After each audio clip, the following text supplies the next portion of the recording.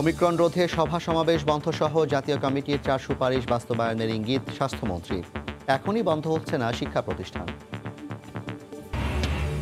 এবং ঢাকায় মেট্রো রেলের প্রথম তিনটি স্টেশনে ওঠানামার সিঁড়ি প্রস্তুত। উত্তরা থেকে আগারগাঁও পর্যন্ত চলছে স্টেশনের ভেতরের কাজ।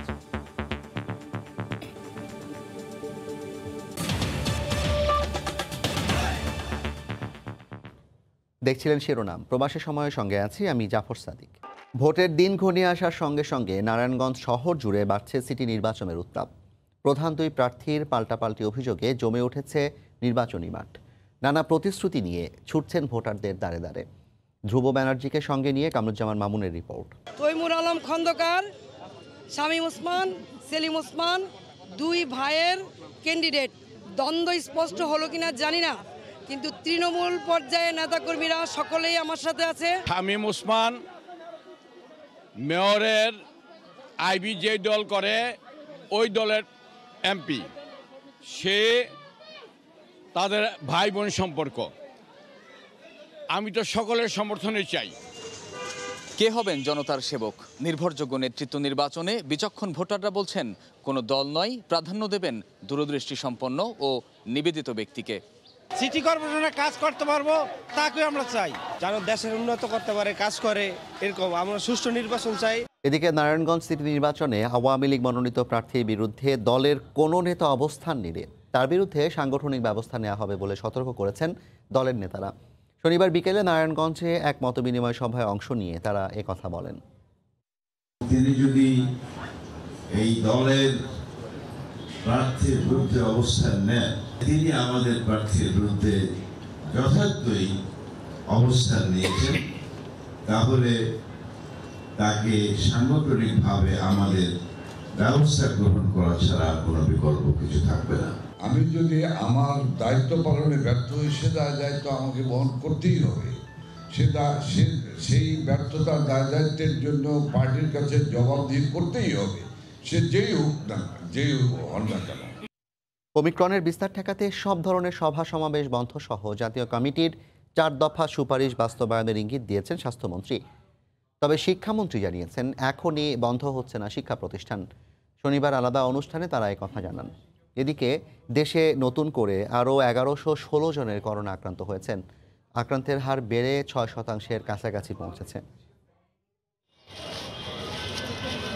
দেশে ক্রমেই বাড়ছে করোনার আক্রান্তের সংখ্যা। সঙ্গে যোগ হয়েছে ওমিক্রন আতঙ্ক।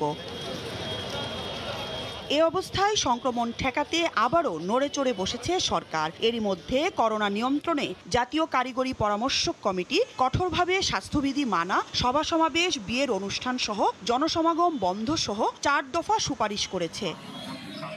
এমন বাস্তবতায় শনিবার দুপুরে মানিকগঞ্জে এক অনুষ্ঠানে স্বাস্থ্যমন্ত্রী জাহিদ মালেক ওমিক্রন রোধে কারিগরি পরামর্শক কমিটির সুপারিশ দ্রুত বাস্তবায়নের ইঙ্গিত দেন। মাস্ক পরতে হবে। আমাদের সামাজিক অনুষ্ঠানগুলো, যেগুলো বিয়ে শাদী হচ্ছে, যেগুলো ধর্মীয় অনুষ্ঠান আছে, সেখানেও যে ক্যাপাসিটি আছে ওই প্রতিষ্ঠানে তার বেশি একজন লোকও ওখানে দাওয়া দিতে পারবেন না। জাতীয় কারিগরি কমিটি যেটা আছে, স্বাস্থ্যের তাদের যে নির্দেশনা আছে সেটাও আমাদেরকে মেনে চলতে হবে। সমস্ত জেলা পর্যায়ে এই নির্দেশনাগুলো চলে আসবে। এদিকে শনিবার সকালে রাজধানীর আফতাবনগরে ইম্পেরিয়াল কলেজের রজত জয়ন্তী উদযাপন অনুষ্ঠান শেষে সাংবাদিকদের প্রশ্নের জবাবে শিক্ষামন্ত্রী জানান আপাতত শিক্ষা প্রতিষ্ঠান বন্ধের পরিকল্পনা নেই। আমরা শিক্ষা প্রতিষ্ঠান বন্ধ করতে চাই না বরং আমরা চাই আমাদের প্রতিটি শিক্ষার্থী যেন টিকা নিয়ে আমাদের প্রতিষ্ঠানে শিক্ষা প্রতিষ্ঠানে আসে। নির্ধারিত বৈঠক আছে আমাদের যে করণ কোভিড উনিশ সংক্রান্ত যে জাতীয় পরামর্শ কমিটি আছে তাদের সঙ্গে আমরা সার্বিক পরিস্থিতি নিয়ে আমরা পর্যালোচনা করে সিদ্ধান্ত নেব। এ সময় শিক্ষামন্ত্রীও শিক্ষার্থী সহ সবাইকে স্বাস্থ্যবিধি মেনে চলার আহ্বান জানান। সন্তানদের ভবিষ্যতের মৌসুম ইসলাম সময় সংবাদ ঢাকা। বৈঠক আছে আমাদের এদিকে দেশে করোনা সংক্রমণ বাড়লেও কোথাও নেই স্বাস্থ্যবিধি মানার বালাই। মাঠ পর্যায়েও নেই নির্দেশনা বাস্তবায়নের কোনো দৃশ্যমান উদ্যোগ। এ অবস্থায় সরকারকে আরও কঠোর হওয়ার পরামর্শ বিশেষজ্ঞদের। মিজানুর রহমানের ছবিতে রাশেদ বাপ্পির রিপোর্ট। শুনতেছি যে বাড়তেছে। এখন আমিও রাস্তায় এসে মাস্ক ফালাইতে এসেছি। কাশিটা বেশি এলে সস্তা এই হলো অতি সংক্রমণশীল করোনার নতুন ধরন ওমিক্রন শনাক্তের প্রায় এক মাসের বাংলাদেশ। সব জেনে বুঝেও যেন না দেখার ভান না শোনার অভিনয়। এখনও চালু রয়েছে নো মাস্ক নো সার্ভিস অথচ গণপরিবহনের চিত্র বলছে কাজীর গরু কিতাবেই আছে বাস্তবে গোয়াল শূন্য। আগে তো বাসে স্যানিটাইজার দিতেন যাত্রীদেরকে এখন কেন দিচ্ছেন না? এখন তো সব হাতে হাতে থাকে এর জন্য কেউ নেয় না। এবার আসা যাক মাছের বাজারে। হাজারো ক্রেতা বিক্রেতাও কম নয়। এদের মধ্যে অধিকাংশই আবার বয়োজ্যেষ্ঠ নাগরিক। অথচ সচেতনতার ছিটে ফোটাও খুঁজে পাওয়া দায়। ব্যক্তি সচেতন থাকতে এবং আইনেরও প্রয়োগ থাকতে হবে। কিন্তু এই মুহূর্তে কমিকনের ব্যাপকভাবে বৃদ্ধি পাচ্ছে। স্কুল কলেজগুলো একটু বন্ধ দেওয়া দরকার। দীর্ঘদিন করোনা সংক্রমণের নিম্নগতি এবং একই সঙ্গে সরকারের ঢিলেঢালা ভাবি বর্তমান পরিস্থিতির জন্য দায়ী বলছেন বিশেষজ্ঞরা। নির্দেশনাগুলোকে ভাগ করে ফেলা দরকার। যে যেগুলো বিজ্ঞানের আলোকে মনে হচ্ছে আরও বেশি কঠোর হওয়া দরকার সেগুলোকে আরও বেশি কঠোর রূপ দেওয়া দরকার। পরিস্থিতি সামাল দিতে বয়োজ্যেষ্ঠ নাগরিকদের দ্রুত টিকা দেওয়ার পাশাপাশি দুই থেকে তিন সপ্তাহের জন্য স্কুল কলেজ সহ জনসমাগম স্থল বন্ধ রাখার পরামর্শ বিশেষজ্ঞদের। এটি কারও অজানা নয় যে শুধুমাত্র ব্যক্তিগত সচেতনতা ও স্বাস্থ্যবিধি মেনে চলে এই অদৃশ্য জীবাণু রুখে দেয়া অসম্ভব কিছু নয়। রাশেদ বাপ্পি সময় সংবাদ ঢাকা।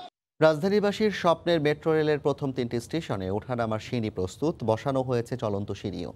তৈরি হয়েছে লিফটের জায়গা। উত্তরা থেকে আগারগাঁও সবগুলো মূল অবকাঠামো নির্মাণ শেষে চলছে ছাদ ও স্টেশনের ভেতরের কাজ। মেট্রো রেলের স্বপ্নটা এখন হাতের মুঠোয়। উত্তরার দিয়াবাড়ির এক নম্বর স্টেশনের সিঁড়ি এমনই প্রস্তুত প্রস্তুত এসকেলেটার ওপাশে লিফট তৈরি। প্রথম নয়টি স্টেশনের সাতটি স্টেশনেরই এখন ওঠানামার সিঁড়ি প্রস্তুত প্রায়। এরই মধ্যে উত্তরার প্রথম তিনটি স্টেশনের দুপাশেই তৈরি হয়ে গেছে সিঁড়ি। প্রথম স্টেশনে বসেছে স্কেলেটর বা চলন্ত সিঁড়িও। এছাড়া পল্লবী, মিরপুর এগারো, দশ, আগারগাঁও প্রতিটি স্টেশনেই সিঁড়ি প্রস্তুত। এক্সিট অ্যান্ট্রিটের কাজগুলো আমরা শুরু করেছে এবং যেখানে যেখানে কাজ শেষ হয়ে যাচ্ছে উপর থেকে যেখানে ধরেন যে এসকেলেটার এসকেলেটারে হয়তো তিনটা ধাপে বা চারটা ধাপে উঠতে হবে। উপরের ধাপগুলোতে কিন্তু আমরা এসকেলেটার বসানোরও কাজ শুরু করে দিয়েছে এবং এসকেলেটার বসেও গিয়েছে। ডিসেম্বর থেকে প্রথম অংশ, অর্থাৎ উত্তরা থেকে আগারগাঁও অংশের অগ্রগতি নব্বই শতাংশের বেশি, আগারগাঁও থেকে মতিঝিলের অগ্রগতি তিয়াত্তর দশমিক শূন্য আট ভাগ, সার্বিক অগ্রগতি চুয়াত্তর দশমিক শূন্য চার শতাংশ। এই মুহূর্তে গুরুত্ব পাচ্ছে স্টেশনের ভেতরের কাজের অংশ। পরিপূর্ণভাবে সব শেষ করে আরেকটা কাজ করব, এরকম পদ্ধতিতে আমরা অগ্রসর হচ্ছি না। আমরা অগ্রসর হচ্ছি যেখানে যেই কাজটা শেষ হয়ে গিয়েছে, তার পরবর্তীতে যেই কাজটা শুরু হবে সেখানে যেন সেই কাজটা শুরু হয়ে যায়। অন্য একটা স্টেজে অন্য কাজটা থাকলে সেইভাবে সেই কাজটাও সামনের দিকে অগ্রসর হতে থাকবে। সব ঠিক থাকলে চলতি বছর ডিসেম্বরে আনুষ্ঠানিক যাত্রা হবে উত্তরা থেকে আগারগাঁও। আসছে বছর স্বপ্নের মেট্রো রেল চলবে মতিঝিল পর্যন্ত। রাশেদ লিমন, সময় সংবাদ, ঢাকা। অপরিকল্পিত ফ্লাইওভারের পাশাপাশি এলিভেটেড এক্সপ্রেসওয়ের কারণে চট্টগ্রামের প্রস্তাবিত মেট্রো রেল প্রকল্পের নকশা জটিলতার শঙ্কা করা হচ্ছে। এ অবস্থায় মূল সড়ক বাদ দিয়ে রুট পিনের পুনর্বিবেচনার পরামর্শ বিশেষজ্ঞদের। শাখাত রিপোর্ট ক্যামেরায় কমলদের রিপোর্ট। ষাট বর্গ মাইলের চট্টগ্রাম নগরীতে গত এক দশকে তৈরি হয়েছে চারটি ফ্লাইওভার আর পাঁচ বছরের বেশি সময় ধরে এলিভেটেড এক্সপ্রেসওয়ের ডিজাইনে একাধিকবার পরিবর্তন এনেও কাজ শেষ করা যায়নি। পরিকল্পিতভাবে না হওয়ায় যানজট এখন নগরীর প্রতিদিনের যন্ত্রণা। নগর পরিকল্পনাবিদ কিংবা বিশেষজ্ঞদের মতামত ছাড়াই এসব ফ্লাইওভার এবং এলিভেটেড এক্সপ্রেস হওয়ায় মূল সড়ককে বাদ দিয়েই ডিজাইন করতে হবে প্রস্তাবিত মেট্রো রেল প্রকল্পের। দ্রুত তার অ্যালাইনমেন্টটা ঠিক করে তার সাথে সাংঘর্ষিকতাকে এড়ানোর জন্য যদি কোথাও কোথাও রিভিশন করতে হয়, সেই রিভিশনটা আমাদেরকে করতে হবে। ফ্লাইওভারের কারণে স্থান সংকুচিত হয়ে পড়ায় মেট্রো রেলের প্রস্তাবিত রুট পুনরায় বিবেচনার কথা বলছেন নগর বিশেষজ্ঞরা। বিশেষজ্ঞদের মতে মিরেশ্বরে গড়ে ওঠা বঙ্গবন্ধু শিল্পনগরী হয়ে সাগর ঘেঁষে চট্টগ্রাম বিমানবন্দর পার্শ্ববর্তী কর্ণফুলি টানেলের একটি অংশ বিমানবন্দর থেকে রেল স্টেশন হয়ে জেলার হাটহাজারি ও কালুরঘাট ব্রিজকে অপর অংশের সাথে সংযুক্ত করার কোনো বিকল্প দেখছেন না। প্রথম থেকে মাথায় রেখে যদি ডিজাইন করা হতো এবং বাস্তবায়ন করা হতো, তাহলে একই সাথে আমরা দুটো জিনিসই পেয়ে যেতাম। অপরিকল্পিত ফ্লাইওভারের পাশাপাশি এলিভেটেড এক্সপ্রেস ওয়ের কারণে মেট্রো রেলের সম্ভাবনা পুরোপুরি নষ্ট হয়ে যায়নি। এক্ষেত্রে নগর বিশেষজ্ঞরা বলছেন, যথাযথ রুট বাছাই এবং নগরীর সৌন্দর্য অটুট রেখেই ডিজাইন করা গেলে তবে মেট্রো রেল পুরোপুরি কার্যকর হবে। কমল দে, সময় সংবাদ, চট্টগ্রাম। তিন দিনের শুভেচ্ছা সফরে চট্টগ্রাম বন্দরে এসে পৌঁছেছে জাপানের দুই যুদ্ধজাহাজ উরাগা ও হিরাডো শনিবার দুপুরে বন্দরে নোঙর করে জাহাজ দুটি। এ সফর দুদেশের মধ্যকার বন্ধুত্বপূর্ণ সম্পর্ক আরও দৃঢ় করতে গুরুত্বপূর্ণ ভূমিকা রাখবে বলে আশা সংশ্লিষ্টদের। আশরাফুল আলম মামুনের ক্যামেরায় ফেরদোস লিপির রিপোর্ট। শনিবার দুপুর দুইটার কিছু পরে কর্ণফুলী নদীর মোহনায় প্রবেশ করে জাপানের মেরিটাইম সেলফ ডিফেন্স ফোর্সের দুই যুদ্ধজাহাজ, উরাগা ও হিরাডো। এর আগে সফরকারী জাহাজ দুটি বাংলাদেশ জলসীমায় এসে পৌঁছালে নৌবাহিনীর জাহাজ প্রত্যয় তাদের অভ্যর্থনা জানায়। বেলা আড়াইটার দিকে চট্টগ্রাম বন্দরের পাঁচ নম্বর জেটিতে জাহাজ দুটি নোঙর করলে সুসজ্জিত একটি বাদক দল বাদ্যযন্ত্র বাজিয়ে স্বাগত জানায় তাদের। এই সফর দুদেশের পঞ্চাশ বছরের বন্ধুত্বের প্রতি উল্লেখ করে বাংলাদেশ জাপান নৌবাহিনীর বিদ্যমান সুসম্পর্ক আরও এগিয়ে যাবে বলে আশা প্রকাশ করেন জাপানি রাষ্ট্রদূত। In terms of enhancing further friendship very symbolic in terms further promoting cooperation between Bangladesh navy তিন দিনের শুভেচ্ছা সফর শেষে জাপানের জাহাজ দুটি আগামী দশ জানুয়ারি বাংলাদেশ ছেড়ে যাবার কথা রয়েছে। শিল্পোন্নত দেশগুলোর মধ্যে বাংলাদেশের স্বাধীনতা সর্বপ্রথম স্বীকৃতি দেয় সূর্যোদয়ের দ্বীপ রাষ্ট্র, জাপান।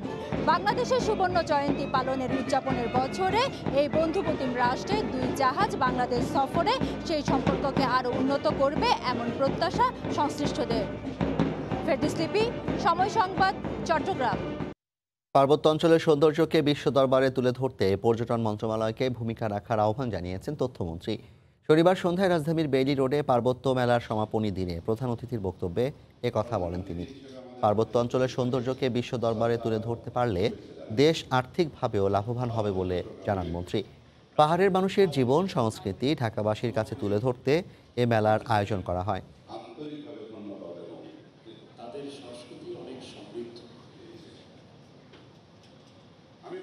পর্যটনের একটা বিরাট সম্ভাবনা রয়েছে পার্বত্য চট্টগ্রামে। যেই সম্ভাবনাটা রয়েছে, সেই সম্ভাবনাটাকে কাজে লাগানোর জন্য। তাহলে এই সম্ভাবনাকে যদি কাজে লাগাতে পারি, দেশ উপকৃত হবে, পার্বত্য এলাকার মানুষ উপকৃত হবে, দেশের অর্থনীতি উপকৃত হবে। কৃষিপণ্য আরও বেশি উৎপাদন করতে পারি, তাহলে আমি মনে করি পুরো দেশ উপকৃত হবে। শিক্ষক ও চলচ্চিত্রকার হায়দার রিজভির স্মারক গ্রন্থ হায়দার রিজভি সিনেলোকের পরম পুরুষ গ্রন্থের মোড়ক উন্মোচন করা হয়েছে। শনিবার সন্ধ্যায় রাজধানী শিল্পকলা একাডেমির জাতীয় চিত্রশালা মিলনায়তনে বইটির মোড়ক উন্মোচন করেন প্রধানমন্ত্রীর আন্তর্জাতিক সম্পর্ক বিষয়ক উপদেষ্টা ডক্টর গহর রিজভি। এ সময় সাংস্কৃতিক ব্যক্তিত্ব আসাদুজ্জামান নূর, মফিদুল হক ও চলচ্চিত্র নির্মাতা মোর্শেদুল ইসলাম সহ আরও অনেকেই উপস্থিত ছিলেন। আলোচনা শেষে হায়দার রিজভি নির্মিত প্রাসিয়ান অফিসার ও নার্সারি রাইমস চলচ্চিত্র দুটি প্রদর্শিত হয়। তার সরাসরি ছাত্রদের কাছ থেকে। একদিন রিক্সা থেকে নেমে ফোন থেকেই দেয়া যাবে ভাড়া। ভাঙতির জন্য চিন্তা করতে হবে না রিক্সা চালককেও। ক্ষুদ্র লেনদেনে নতুন এই দিগন্তের সূচনা করেছে ট্রাস্ট আজিয়াটা পেটা। প্রাথমিকভাবে রাজধানীর ধানমন্ডি এলাকায় নতুন এই সেবা চালু করল মোবাইলে আর্থিক সেবাদাতা প্রতিষ্ঠানটি। রিকশার নগরী, ঢাকা। রাজধানীর অলিগলি রাজপথে বৈধ অবৈধ মিলিয়ে প্রায় পনেরো লাখ রিকশা চলাচল করে। গিনেস বুক অব ওয়ার্ল্ড রেকর্ডসের দুই হাজার পনেরো সালের তথ্য মতে, ঢাকার চল্লিশ শতাংশ মানুষ নিয়মিত চলাচলের ক্ষেত্রে রিকশার উপর নির্ভরশীল। এ বিষয়টি মাথায় রেখে যাত্রীরা যাতে রিক্সা ভাড়া মোবাইলে পরিশোধ করতে পারেন, তার উদ্যোগ নিয়েছে ট্রাস্ট আজিয়াটা পে ট্যাপ। শনিবার রাজধানীর ধানমন্ডি এলাকায় নতুন উদ্যোগের অংশ হিসেবে তিন শতাধিক রিক্সা চালককে একটি করে কিউআর কোড সম্বলিত কার্ড দেওয়া হয়েছে। যাত্রীরা ট্যাপ অ্যাপ দিয়ে স্ক্যান করে রিক্সা চালকের ট্যাপ ওয়ালেটে ভাড়া দিতে পারবেন। খুদে বার্তার মাধ্যমে জানা যাবে লেনদেন সম্পন্ন হয়েছে কিনা। যাত্রী যারা, তারা যদি ট্যাপ দিয়ে রিক্সা পেমেন্ট করেন, তারা ইনস্ট্যান্ট টেন পার্সেন্ট ক্যাশব্যাক পাবেন। এই প্রক্রিয়ায় লেনদেনের জন্য যাত্রীদের স্মার্টফোন লাগবে, তবে রিক্সা চালকদের একটি ফিচার ফোন থাকলেই চলবে। একশো টাকায় দশ টাকা বোনাস পাবেন রিক্সা চালকরা। বিপরীতে ট্যাপ এজেন্ট থেকে ক্যাশ আউট করতে খরচ হবে এক টাকা আশি পয়সা। পয়সা হিসাব নিকাশ করা লাগল না গ্যারেজে যে এজেন্টকে দিব। টাকা তুলে নিতে পারলাম সারাদিন কাজ শেষে। নাগরিক জীবনের সকল স্তরে এমএফএস সেবা ছড়িয়ে দিতেই এই উদ্যোগ বলে জানালেন কর্মকর্তারা। রাত্রেবেলা যখন ইয়ে করে ওদের সেফটি থাকে না সে এই সমস্ত জিনিসের জন্য আমার কাছে মনে হয় এটা তাদের জন্য একটা সেফটিও হবে। পরীক্ষামূলক কার্যক্রম শেষে শিগগিরই এই সেবা তৃণমূল পর্যায়ে নিয়ে যেতে চায় ট্রাস্ট আজিয়াটাপে শুভ খান সময় সংবাদ ঢাকা। করোনা সংক্রমণ রোধে বাংলাদেশ, ভারত, পাকিস্তান, নেপাল সহ সাতান্নটি দেশকে লাল তালিকাভুক্ত করেছে কাতার। এই দেশ থেকে আসা যাত্রীদের জন্য নতুন নির্দেশনা জারি করেছে দেশটি। এ সিদ্ধান্তে হতাশ প্রবাসী বাংলাদেশিরা। কাতার প্রতিনিধি আনোয়ার হোসেন মামুনের তথ্য ও ছবি নিয়ে রিপোর্ট। কাতারে করোনা সংক্রমণ রোধে ভ্রমণ নীতির পরিবর্তন কার্যকর হচ্ছে আটই জানুয়ারি থেকে। একশো তেতাল্লিশ দেশকে সবুজ তালিকা, সাতান্ন দেশকে লাল তালিকা আর নয়টি দেশকে এক্সেপশনাল রেড লিস্ট বা বিশেষ লাল তালিকাভুক্ত করেছে দেশটি। এইসব দেশ থেকে আসা যাত্রীদের জন্য নতুন নির্দেশনা জারি করা হয়েছে। লাল সবুজ তালিকায় থাকা দেশগুলো থেকে কাতারে আসা যাত্রীদের কোয়ারেন্টাইনের বাধ্যতামূলক বিধিনিষেধ না থাকলেও বিশেষ লাল তালিকায় থাকা বাংলাদেশ সহ নয় দেশের যাত্রীদের বাধ্যতামূলক কোয়ারেন্টাইনে থাকতে হবে। ছুটিতে থাকা প্রবাসীরা কাতারে ফিরলে বাধ্যতামূলক দুই দিন নিজ খরচে কোয়ারেন্টাইনে থাকতে হবে আর বাংলাদেশ থেকে ভ্যাকসিন নেয়াদের নিজ খরচে কোয়ারেন্টাইনে থাকতে হবে দুই থেকে সাত দিন। বাংলাদেশকে বিশেষ লাল তালিকায় রাখায় হতাশ প্রবাসীরা। বাংলাদেশকে লাল তালিকায় স্পেশাল লাল তালিকায় এক নম্বরে রাখা হয়েছে। যদিও বাংলাদেশের করোনা পরিস্থিতি এত খারাপ না মোটামুটি ভালোর দিকে। যদি বাংলাদেশকেও এক নম্বর থেকে বাদ দেওয়া হতো তাহলে আমাদের বাংলাদেশি কাতার প্রবাসীদের জন্য ভালো হতো। কাতারের ভ্রমণ নীতির তালিকা দেখে প্রবাসী বাংলাদেশিদের পাশাপাশি হতাশ ভারত, পাকিস্তান, নেপালের অভিবাসীরাও। জার্মানি, ফ্রান্স, ইতালিতে প্রতিদিন গড় আক্রান্তের হার দুই লাখের বেশি হলেও তাদেরকে রাখা হয়েছে লাল তালিকায়। এমনকি লাল তালিকায় থাকা এই দেশগুলো থেকে আসা যাত্রীদের লাগবে না কোয়ারেন্টাইনও। সময় সংবাদ, কাতার। কমনওয়েলথ গেমস বাছাই পর্ব খেলতে মালয়েশিয়া গেল বাংলাদেশ নারী ক্রিকেট দল। প্রথমবার ওয়ানডে বিশ্বকাপের মূল পর্ব নিশ্চিত করা বাংলাদেশ জয়ের ধারা বজায় রাখতে চায় টি টোয়েন্টি ফরম্যাটেও। জানিয়েছেন টাইগার্স অধিনায়ক নিগার সুলতানা জ্যোতি। টি টোয়েন্টি দলে নতুনদের সুযোগ করে দিতে বাদ দেওয়া হয়েছে পেসার জাহামার আলমকে, জানিয়েছেন কোচ মাহমুদ ইমন। প্রথমবারের মতো ওয়ানডে বিশ্বকাপের মূল পর্ব নিশ্চিত করা বাংলাদেশ নারী ক্রিকেট দলের এবারের মিশন কমনওয়েলথ গেমসের বাছাই পর্ব চন্মনে টাইগ্রেসদের এবারের মঞ্চ মালয়েশিয়া। ফরম্যাট টি টোয়েন্টি চেনা এই সংস্করণে এর আগেও সাফল্য এনে দিয়েছেন রুমানা সালমারা। ওমিক্রনের ধকল কাটিয়ে দেশের মাটিতে সংক্ষিপ্ত অনুশীলন করেছে টাইগ্রেসরা। কিছুদিন আগে ওয়ানডে ফরম্যাট খেলে এসেছে। টাইগ্রেস অধিনায়কের লক্ষ্য ফরম্যাট যাই হোক, জয়ের ধারায় থাকতে চায় দল। যে কোনো ফর্মেটে হোক না কেন, টিমের হচ্ছে উইনিং হ্যাবিটটা রাখাটা অনেক ইম্পর্টেন্ট আমরা যেখানে খেলতে যাচ্ছি না কেন অ্যাজ এ টিম যদি আমরা ভালো রেজাল্ট করতে পারি নেক্সট যখন আমরা ওয়ার্ল্ড কাপে যাব, সেটা আমাদেরকে মোটিভেট করবে। মালয়েশিয়ার কন্ডিশনে খেলার অভিজ্ঞতাটা আমাদের ভিতরে আছে। নিজেদের ভিতরে অনেকগুলো ম্যাচ খেলেছি এবং আমরা অনেক কনফিডেন্ট কারণ ম্যাচগুলো খুব কম্পিটিটিভ ছিল। ইন্ডিভিজুয়াল কিন্তু অনেক ভালো পারফর্ম করছে এবং খুব ভালো শেপের ভিতরে আছে। কমনওয়েলথ গেমসের বাছাই পর্বে চার ম্যাচ খেলবে বাংলাদেশ, যেখানে শ্রীলঙ্কা এবং স্কটল্যান্ড সম্পর্কে জানা আছে। বাকি দুই দল কেনিয়া এবং মালয়েশিয়া, তাদের নিয়েও হয়েছে পড়াশোনা। বাছাই পর্ব উতরাতে আত্মবিশ্বাসী বাংলাদেশ। ওয়ানডের পর টি টোয়েন্টিতেও অধিনায়কত্ব পেয়েছেন নিগার সুলতানা। জ্যোতি সাফল্যের ধারা ধরে রাখতে চান এই ফরম্যাটেও। অধিনায়কত্ব আমি চাপ হিসেবে নিচ্ছে না আমি মনে করব যেটা রেসপন্সিবিলিটি যেটা হচ্ছে আমার উপরে ভরসা করে বা আমি ক্যাপাবল কারণ আমাকে দেওয়া হয়েছে। সো আমি সেটার অবশ্যই পূর্ণাঙ্গ চেষ্টা করব সেটা রক্ষা করার। আমাদের টিমটা হচ্ছে বোলিং এবং ফিল্ডিং দিকটা অনেক বেশি স্ট্রং সো সেই দিক থেকে ব্যাটাররা কিন্তু খুব ভালো কাম করেছে ওয়ার্ল্ড কাপ কোয়ালিফায়ারে আমি মনে করি যদি এই জিনিসটা ধারাবাহিকতাটা বজায় থাকে অ্যাজ এ ব্যাটিং ইউনিট যদি আমরা ভালো করতে পারি আমার কাছে মনে হয় যে সেটা আমাদের জন্য ভালো হবে। বিসিবি ঘোষিত পনেরো সদস্যের দল থেকে বাদ দেওয়া হয়েছে নিয়মিত পেসার জাহানারা আলম এবং স্পিনার খাদিজাকে। টি টোয়েন্টি ফরম্যাটে নতুনদের সুযোগ করে দিতেই নাকি এই সিদ্ধান্ত। টি টোয়েন্টি ফরম্যাটের জন্য আমাদের সুদূর প্রসারী আমাদের প্ল্যানিং আছে, বাংলাদেশ ক্রিকেট, ওমেন্স ক্রিকেটটি নিয়ে। এই টুর্নামেন্টে নতুনদেরকে সুযোগ করে দেওয়ার জন্য এই পরিকল্পনা আমাদের এই দল নির্বাচন করা হয়েছে। অভিজ্ঞ ক্রিকেটার পাশাপাশি নবীন ক্রিকেটারও সুযোগ পেয়েছে। তো আশা করি আমরা আমরা এখানে দেশের জন্য ভালো কিছু নিয়ে আসতে পারব। আঠারো জানুয়ারি অচেনা কেনিয়ার বিপক্ষের ম্যাচ দিয়ে কমনওয়েলথ গেমস বাছাই পর্ব শুরু করবে বাংলাদেশের নারীরা। তারেক হাসান শিমুল সময় সংবাদ ঢাকা। এ পর্যায়ে শীর্ষ সংবাদ জানিয়ে দিচ্ছি আরেকবার। এবং ওমিক্রন রোধে সভা সমাবেশ বন্ধ সহ জাতীয় কমিটির চার সুপারিশ বাস্তবায়নের ইঙ্গিত স্বাস্থ্যমন্ত্রী। এখনই বন্ধ হচ্ছে না শিক্ষা প্রতিষ্ঠান। এই ছিল প্রবাসী সময়। সঙ্গে থাকুন সময়।